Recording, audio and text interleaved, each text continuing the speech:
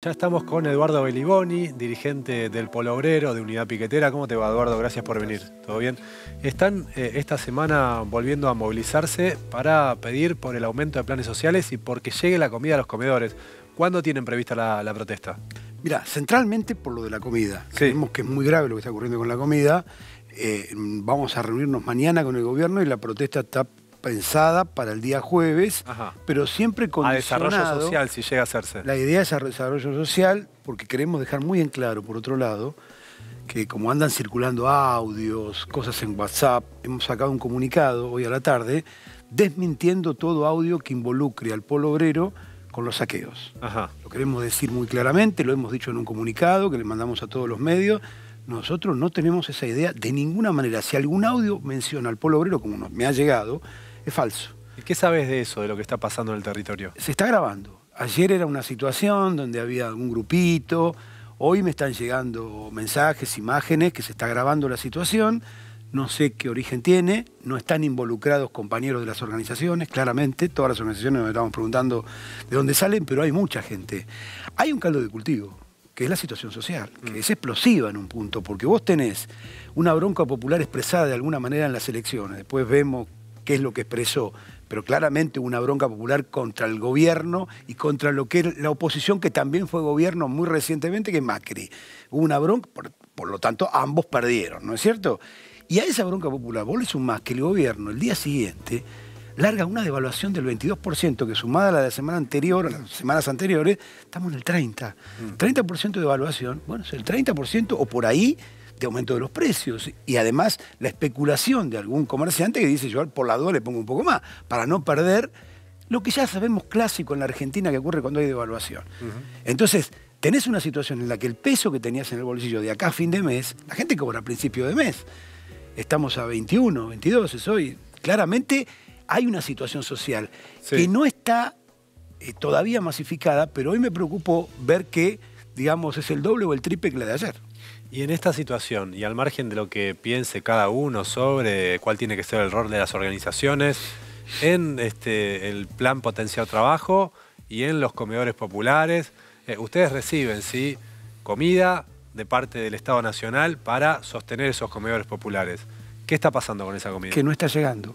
Mira, esto ya ahora no tiene posibilidad de debate porque en un momento la ministra negaba que esto era así.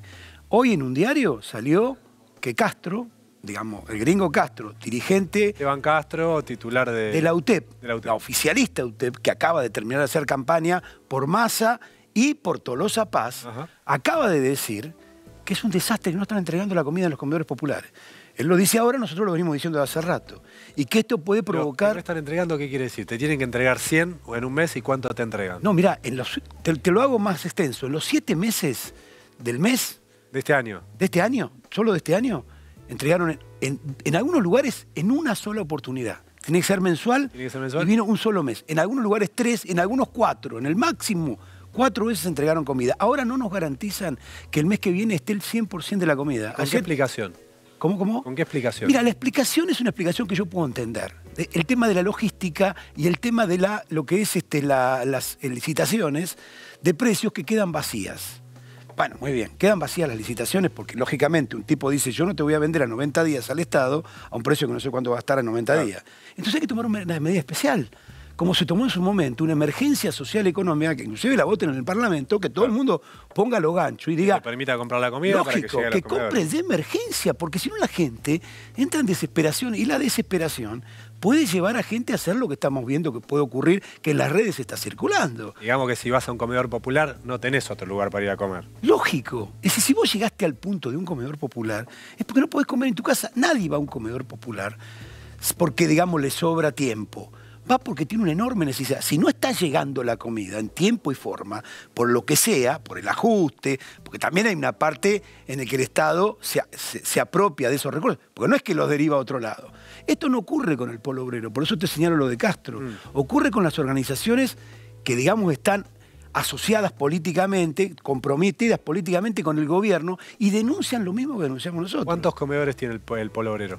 Y debemos estar más de 1.500, ya hemos perdido la cuenta porque los comedores se van abriendo todo el tiempo, se abren nuevos merenderos, comedores, está creciendo la demanda. ¿Y qué hacen con la gente que habitualmente va a esos comedores si no tenés para darle? Mira, hay una actividad, primero que hay cosas que le pedimos a los municipios que a veces algo entregan, hay una actividad solidaria muy grande en los, en los alrededores, la gente ve eso y hay una actividad, y si no directamente no, le decís que no. Es decir, llega la hora de venir a retirar la comida, miran, hoy no hay. El cartelito, a veces ponen el cartelito. No hay comida, hoy no hay comida. No, eso Es terrible. durísimo. Es decir, es terrible para el que lo sufre, en primer lugar, que va a buscar la comida y no está, entonces ¿qué hace? Toma mate cocido. El famoso mate cocido que conocemos que es la comida de muchos chicos en la Argentina.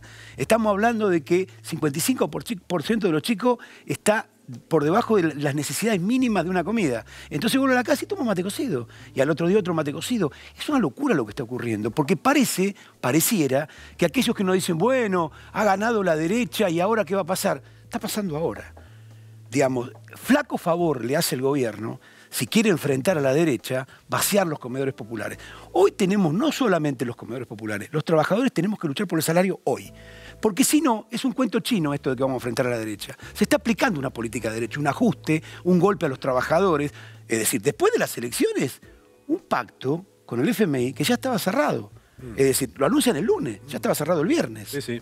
Es decir, que claramente es una estafa al, al electorado. Eduardo, gracias por haber venido. Al contrario, gracias a vos.